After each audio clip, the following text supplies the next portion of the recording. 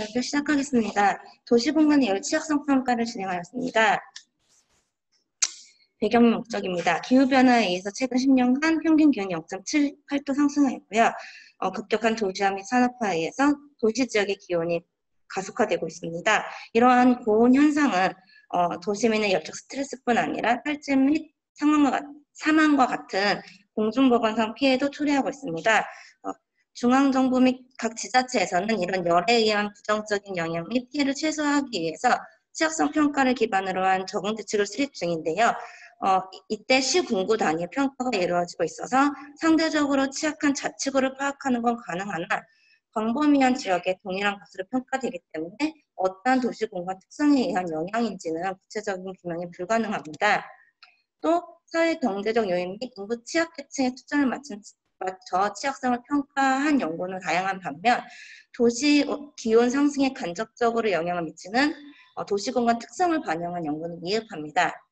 그러므로 본 연구의 목적은 도시 공간의 세부적 특성을 보다 구체적으로 반영하여 열취약성을 세밀한 도시 공간 분포 도면으로 도출함으로써 도시 공간 관리 및 계획의 기초 자료로 삼는 것입니다. 본 연구의 결과는 열에 의한 영향 및 피해를 진단하여 우선적 관리가 필요한 도시 공간을 파악하기 위한 어, 도구로 활용이 가능합니다. 시간적 범위입니다. 어, 시간적, 어, 시간 범위는 2017년 5월 29일부터 9월 8일로 선정하였습니다. 수원시 내에 존재하는 기상 관측소와 대기오염 측정, 측정소만으로는 수원시 전역의 어, 기온 분포도를 작성하기 부족하, 부족하여서 SK 테크엑스에서 제공하는 가장 최근 기상 데이터를 추가로 활용하였습니다. 또 열에 의한 피해 및 영향은 여름철에 두드러지게 나타나기 때문에 어, 그 범위를 여름철로 한정하되 그 온열 주랑 응급실 감시 체계의 운영 기간인 5월 29일부터 9월 8일로 선정하였습니다. 공간적 범위는 경기도 수원시입니다. 다음은 연구의 흐름입니다. 어, 선인 연구 고찰을 하고 개념 정의를 한후 예비, 도, 예비 지표 도출, 그리고 최종 지표를 선정한 다음에 어, 취약성을 부분별 평가하고 최종적으로 통합평가를 합니다. 주요 개념입니다. 취약성은 부정적인 영향을 받는 경영 및 성향으로 어, 노출에 대한 민감성과 잠재적 영향에 대처하기 위한 적응 능력의 부족을 의미합니다. 어, 중앙정부 및 지자체들도 어, 대부분 IPCC의 정의를 기반으로 취약성을 평가하고 있었습니다. 그 노출은 사람 또는 생태계 등이 위험 요소에 의해 부정적인 영향을 받을 수 있는 환경에 놓여진 상태를 나타내고요. 민감성은 작은 압력에 피해받기 쉬운 요인, 적응 능력은 잠재적 영향을 저감시키거나 대처할 수 있는 능력을 의미합니다. 그 정의를 기반으로 한 열취학성 평가 함수는 어, 노출과 민감성으로 구성되어 있는 잠재적 영향에서 적응 능력을 빼주는 것입니다. 열 취약성의 정의는 기온 상승에 따라 열 관련 피해가 발생 또는 증가할 가능성을 나타냅니다. 그에 따라서 노출, 민감성, 적응 능력에 대한 예비 지표를 도출해 보았습니다.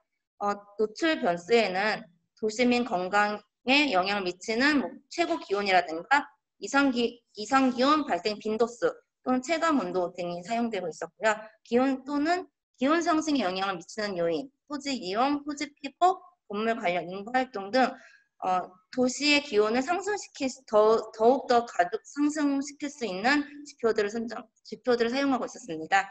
민감성 변수와 적응력 변수는 어, 환경, 사회, 경제적 지표들을 사용하고 있었는데요. 민감성은 어, 노, 더 피해받기 쉬운, 그러니까 어, 노출에 의해서 피해받기 쉬운 취약 집단으로 구성되어 있었고요. 적응 능력은 그거에 대해서 대처할 수 있는 경제적인 요소나 어, 뭐 보건, 보건학적인 요소, 어, 환경, 산림과 하천, 산림하천처럼 환경적인 요소들이 사용되고 있었습니다.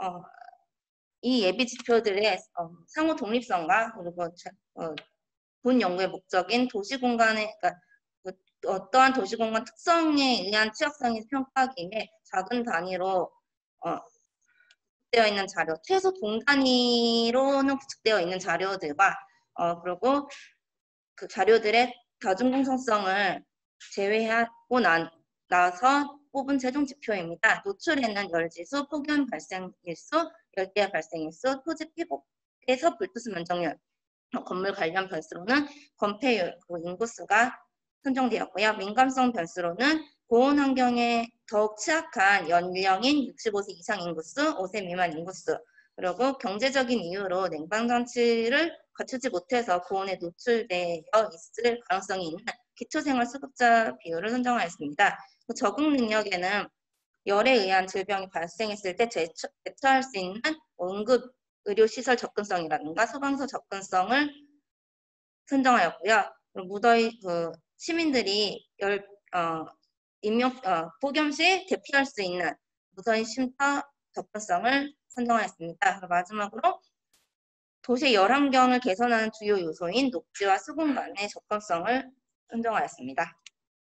각 집, 노출에 대한 구축, 데, 노출에 대한 지표에 노출 지표에 대한 지도입니다.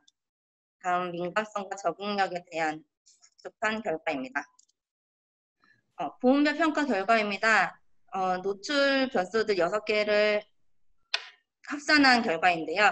어, 장안구 율천동 일대, 팔달구 인계동 일대, 연, 영통구 망포동 일대에서 어, 노출이 높게 나타나는 노, 나타나는 것을 발견하였습니다. 어, 장안구의 유청동 같은 경우는 교통의 유충지이고 어, 유, 유충지이고 팔달구 인계동 같은 경우에는 수원시청 소재지로 최대 업무 지구이자 행정 중심지구 상권이 형성되어 있어서 형성, 형성되어 있습니다. 영통구 망포동 일대는 음, 폭염 발생 일수, 열대야 발생 일수, 건폐율 등이 높은 편에 속하는 속하고 있었습니다.